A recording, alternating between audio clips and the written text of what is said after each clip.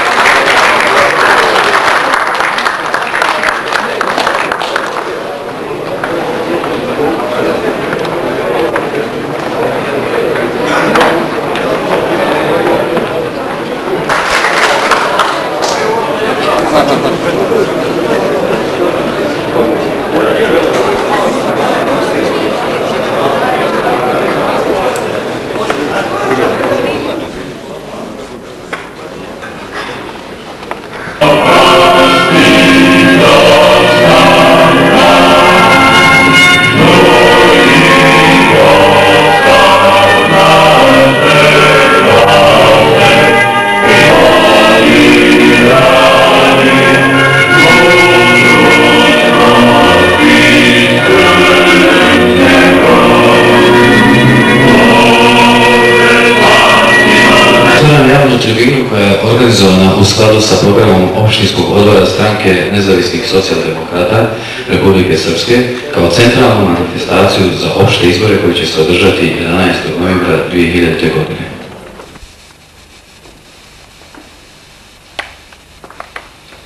Neka im je vječna slava i hvala.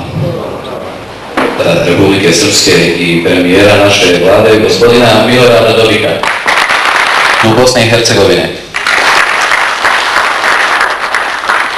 Predstavnike Skupštine opštine Derventa,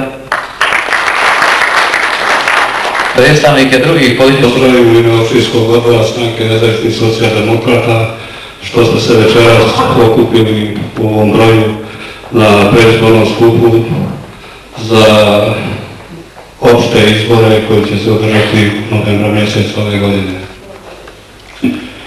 E, Sad ne govori, ali ima nagrada koju posebno mogu da istaknem.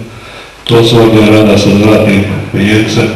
Posebno nagrada koju sam dobio ove opštine, ovdje to je pobjeda grada Dervente i govorimo o privredi.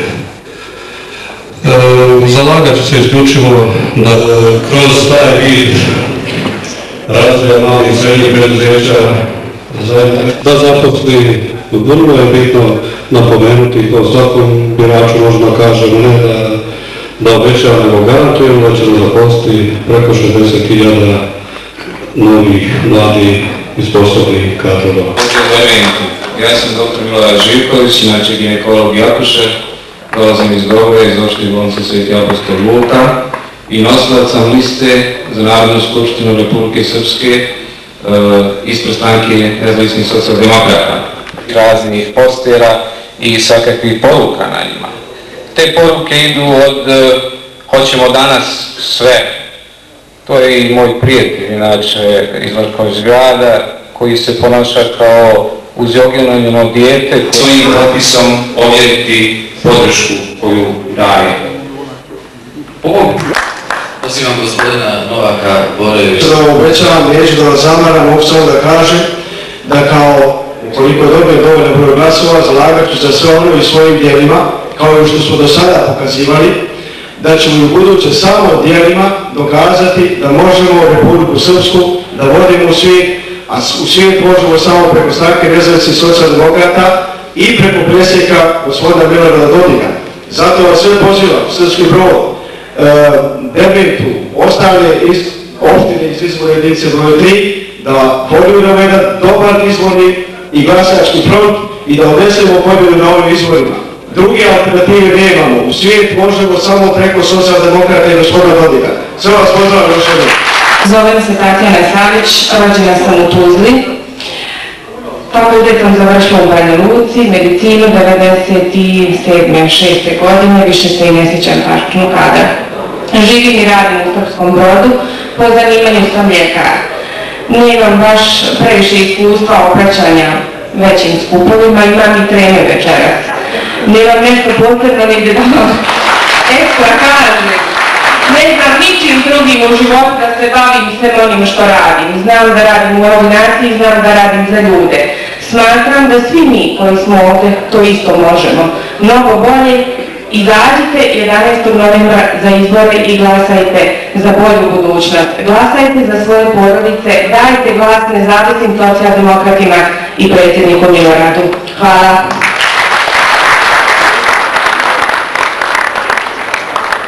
Nauka iz oblasti rudarstva.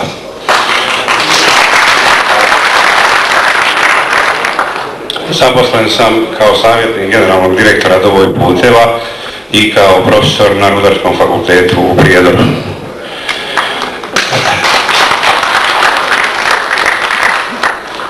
Vrlo kratko, vrlo kratko ću reći zašto ću se zalagat.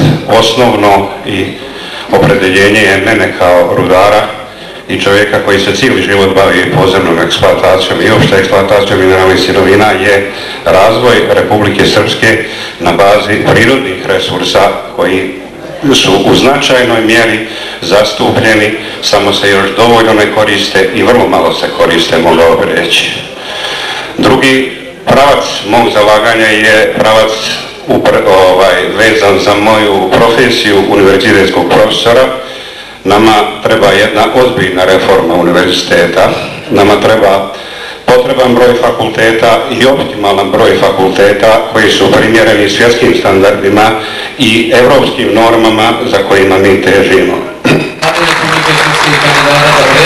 Republike i čovjeka i prijatelja koji je svojim besprekornim radom omogućio srpskom narodu izlazak iz izolacije i poštovanje srpskog naroda u svijetu. Molim predsjednika gospodina Dodika da uzme riječ. Dobro večer svima. Bravo.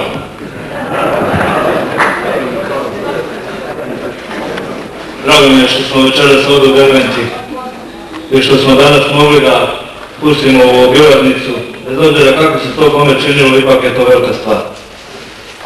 A da ne zaboravim, dr. Živković kaže zalagati se za zatvoranje ovih javnih kuća. I ja, mi smo na vladi jednom o tome raspravljali i donijeli neke odluke, pa smo onda ustanovili da to rade, da ovo dozvoli izdaju opštinski organi, znači od opštine do opštine, tamo gdje mi možemo ostati, dakle to i ne. A pošto jedan moj prijatelj ti dana imao financijsku policiju, a slušao na dnevniku kako mi to zatvoramo te kuće, kaže, jesi normalan, kako neće, što nije zatvorio financijsku policiju, što zatvoraš ove? Uspijemo da napravimo onaj život koji zaista želimo. Radili smo prethodne tri godine veoma naporno na stabilizaciji Republike Srpske, na njenom ujedinjenju. Vi znate da 1997. godine da ste vi bili jedan drugi dio, a mi tamo krajine sasvim jedan drugi dio. Da smo imali dvije policije koje su između sebe tukle tu na tromeđi, pucali jedne na druge. Da smo imali dvije televizije, da smo imali sve to što smo imali. Tada su mnogi bili na redu da prihvate, odnosno da im se poludi mjesto predsjednika vlade, pa nisu imali hrabrosti da to urade i onda je došao red muslimane da nas napadnu, a Milošević je u međuvremenu čistio Kosovo, ostavljao ga prazno i čekao da mi odavde Srbi pojavimo se na granicama Srbije, a on kaže, alo, pun je Beograd na Kosovo. Da, da, to je tako bilo.